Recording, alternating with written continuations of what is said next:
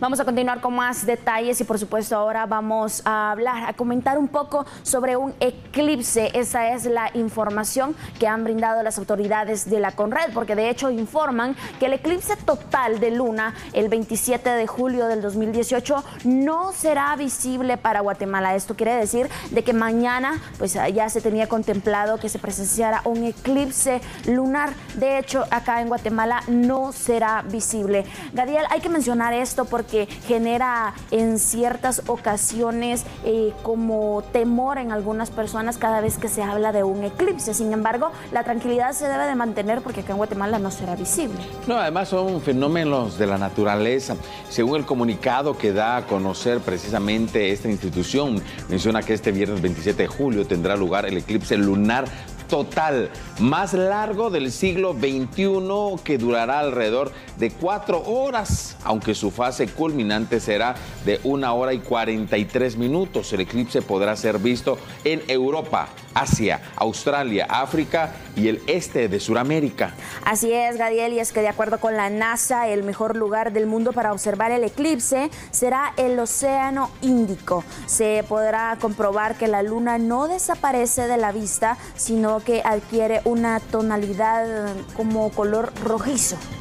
Precisamente esto se debe que a la atmósfera de la Tierra, que extiende unos 80 kilómetros más allá del diámetro de nuestro planeta, actúa como un lente que desvía la luz del Sol y filtra eficazmente sus componentes azules, de manera que deja pasar solamente la luz roja que será reflejada por el satélite. Así la Luna adquiere pues el resplandor cobrizo tan característico.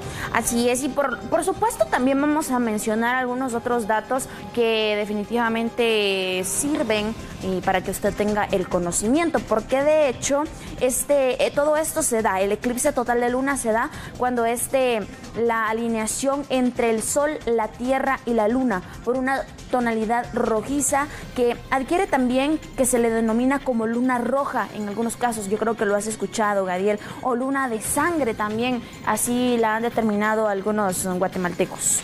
Y precisamente mañana será este eclipse tan esperado. De hecho, se están preparando en Europa, en todas estas regiones que hemos mencionado anteriormente, para poder ver este fenómeno de la naturaleza, el eclipse que durará más tiempo en el siglo XXI. Aquí estamos viendo este mapa, Andrea, el área roja es precisamente donde será visible totalmente este eclipse. Tenemos pues van los distintos grados dependiendo los colores, la cantidad o la forma en la cual se estará viendo, que el área central, que es el área roja, ahí nos muestra los países, las regiones del mundo donde será visto. De hecho, ya si te das cuenta, en la última línea violeta, a puras penas, llega al área de Sudamérica, terminando eh, pues con la, con la parte final de Panamá. Así que Así es, Gadiel, pero bueno, definitivamente en las redes sociales se harán virales las imágenes de este eclipse y por supuesto usted no se lo perderá porque acá en TN Todo Noticias tendremos todos estos y por supuesto más detalles. Bueno, también recordamos que esto es algo característico que sucede, es un fenómeno de la naturaleza y por supuesto los guatemaltecos no tienen temor de ninguna manera a lo que sucederá este viernes.